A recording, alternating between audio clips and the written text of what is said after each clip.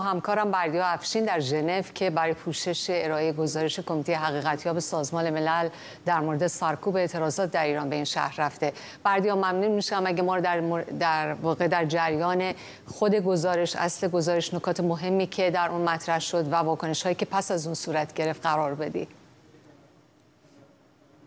سیما اول از همه توضیح بدم که جلسه همچنان در جریان و نمایندگان سازمان های غیر انتفاعی اونها الان در سخنرانی تو ساعتی که ما این گزارش تو دقایقی که ما این نشست رو پخش نکردیم نشستی که وارد سومین ساعت خودش شده فعالان حقوق بشر ایرانی صحبت کردند. از جمله اونها کسی چون الیاس تیموری فعال حقوق اقلیت های کردها و همینطور ما شاهد سخنرانی شادی امین بودیم و همینطور لیلا برومند که از بنیاد عبدالرحمن برومند.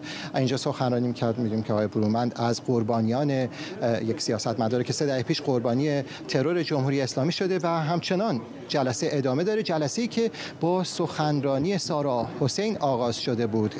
یکی از سه عضو کمیته مستقل بین المللی حقیقتیاب. که طی گزارش خودش خواستار پاسخگویی جمهوری اسلامی شد و خب به هر حال نگرانی های خودش رو ابراز کرد. اما گزارش شفاهی که او ارائه داد به نظر می‌رسه یک گزارشی تفصیلی گزارش که اون کسانی که فعالان حقوق بشر که سالهای گذشته رفتارهای جمهوری اسلامی رو زیر نظر داشتن اونها رو امیدوار کرده و یکی از کسانی که اینجا حضور داشت و شاهد رونمایی گزارش کمیته حقیقت یاب بود. اینجا دکتر نایب هاشمه که از اون می‌پرسم که این گزارش کمیته حقیقت یاب در 222 دومین روز از شکلگیریش چقدر می‌تونه امیدوار کننده باشه و حاوی چه نکاتی بوده؟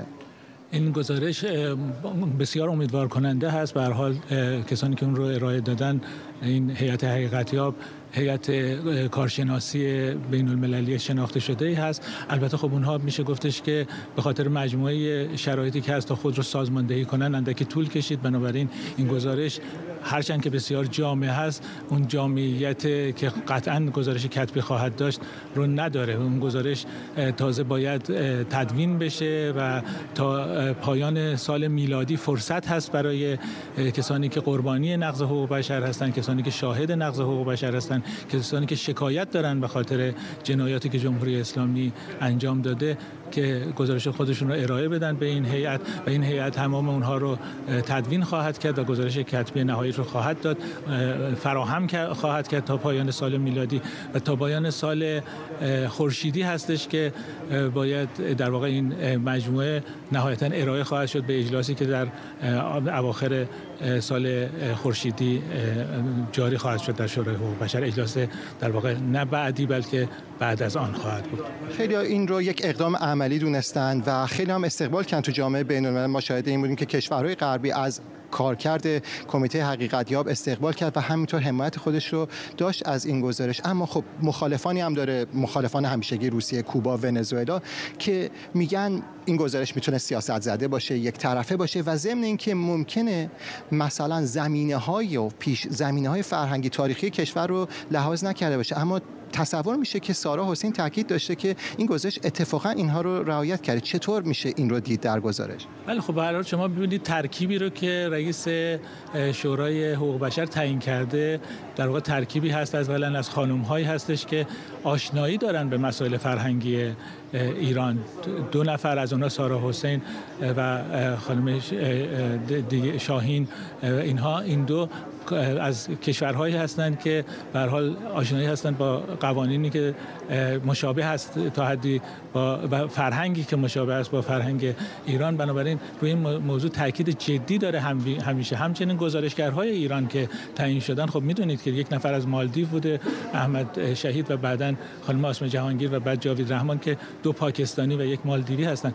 این رو به شدت تاکید داره که در واقع شورای حقوق بشر و و برای ارگان های سازمان ملل که این فرهنگ اون کشوری که هست در نظر گرفته بشه ولی که حقوق بشر مسئله جهانیه و در تمام جهان باید به یکسان اعمال بشه و این در واقع تجربه ای هست و برای تصمیمی هستش که ده ها سال جهان گرفته که حقوق بشر جهانی است و همه جا باید به یک شکل تامین بشه. یه سال دیگه داشته همونجوری که شما گفتین کسی مثل شاین سردار علی با قوانین شهر هم یکی از تخصصاش آشناست اما به هر حال اونا چالشایی داشتن این هیئت سه نفره هم که این اجازه رو تا حالا نداشتن وارد ایران بشن. اینجا هم نماینده کانادا هم نماینده آمریکا و خیلی دیگه پرسن که چطور میشه از این هیئت حمایت کرد و جامعه بین الملل چه قدمای بعدی دیگه ای می‌تونه برداره که این هیئت به نتیجه برسه؟